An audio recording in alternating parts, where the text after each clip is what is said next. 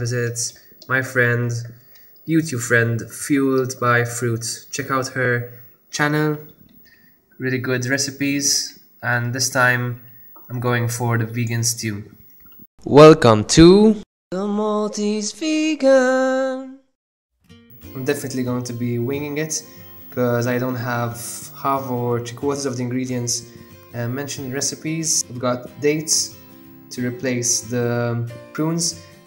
You need to 50 grams of prunes. I'm using like a fifth of that amount um, in dates because I'm afraid it's going to be too sweet, and I don't mind if it's not if it's relatively soupy compared to what you're meant to get with the recipe. And I'm using uh, red wine.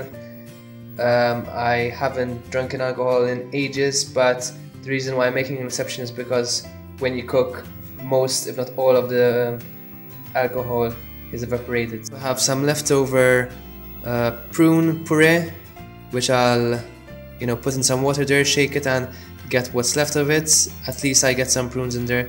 Um, unfortunately, I used it yesterday for the brownies which I made, and so none left and no prunes in the cupboard. So there's the blended dates, and there's the um, remaining prune juice mixed with a bit of water. So those will go into the stew. Very roughly chopped, in fact I haven't chopped at all, the onions, just peel them and those go into the freezer so that when I'm cutting them afterwards I won't be wetting my laptop or mobile and shorting the circuits.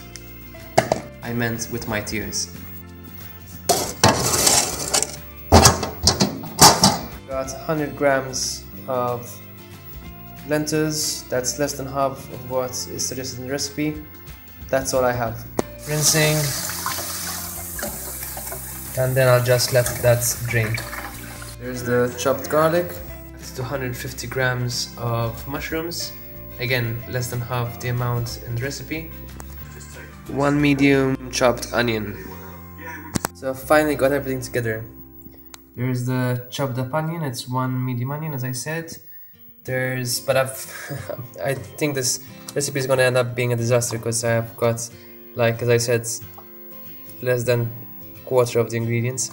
Instead of uh, Marmite, I'm gonna be using miso. Instead of soy sauce, I'm gonna be using tamari. Close enough. I don't have any bouillon either, so I'm not even stock or, or vegetable stock, so I'm gonna just be using uh, Himalayan salt, not much of that because I don't like salt to be there. Uh, mustard, that's okay. I'm gonna be really cleaning out my fridge because I've got this remaining uh, tomato puree. I'm gonna also use that. Um, bay leaf, thyme, and instead of red wine vinegar, I'm using apple cider vinegar. So it's gonna be quite a different recipe. I'll let you know how it turns out. So I've added a bit of water instead of oil and boiling that before I put throw in the onions and saute them.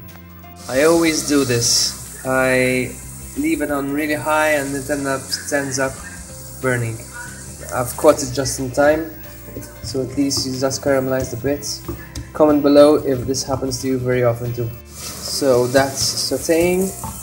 Adding the garlic, use the top of a jar so I don't stay dirty and any other stuff. This is going to the bin anyway.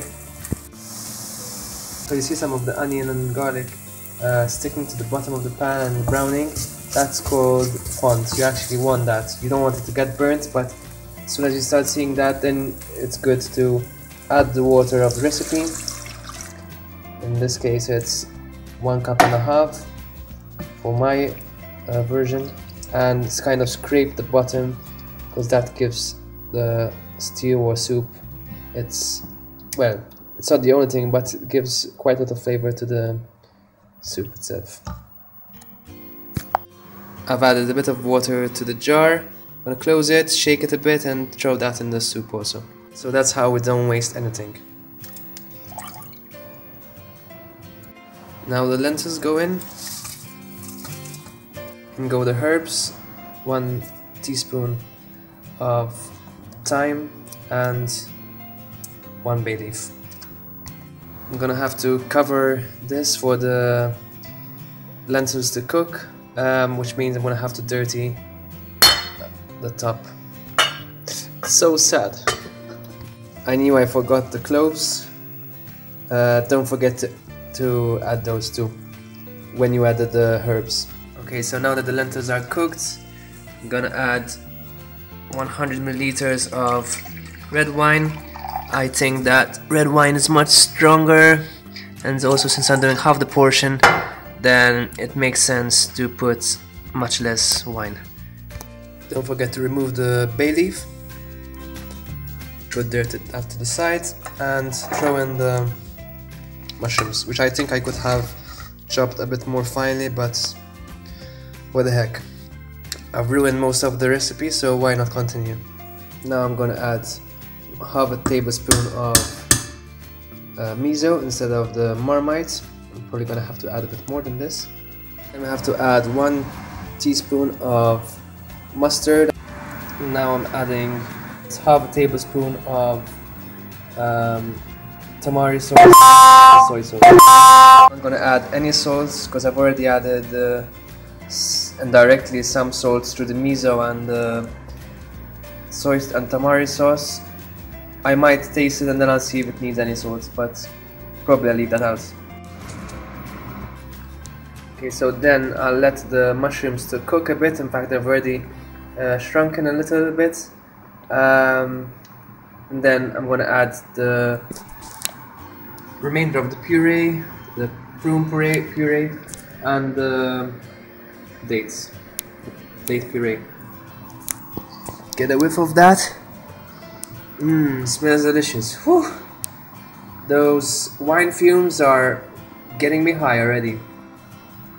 And actually now I just thought of adding some broken uh, spaghetti, whole wheat spaghetti into the the mix. I don't I know it's not part of the original ingredients, but I think it would first of all add carbs to the dish, secondly it will be more filling, and thirdly it will thicken up where the prune won't be thickening up since it won't be going into the stew since I don't have any in the first place.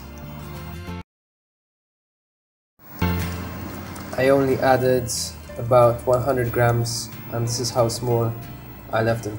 And now I'm covering that for about 5 minutes cooking time. One word of warning since once you add the pasta you add quite a lot of starch to the base um, it, it can start burning at the bottom. So keep a watchful eye on it. Um, I kind of caught it just in time so I think 5 minutes cooking time was just right but just keep an eye out of it. Now I'm going to add the dates puree that goes all in there and what's left of the prune puree that was maybe one teaspoon but mixed with lots of water so now mixing making sure it's well blended in and I'm gonna add the last ingredient one teaspoon of cider vinegar. That's more like half a tablespoon of apple cider vinegar actually. That goes in, mix a bit more, and cook slightly more, making sure that the pasta has cooked well through and you can just eat, serve, do whatever you please. Honestly, one problem with this it's looking too beef-like, too meat-like, but I've gotta be honest. It tastes effing delicious. So the verdict, mm, I liked, it's warming, but definitely use prunes, don't use dates. A bit too sweet. Not that I hate sweet, but when you're expecting savory soup and it's sweet, hmm, not too good.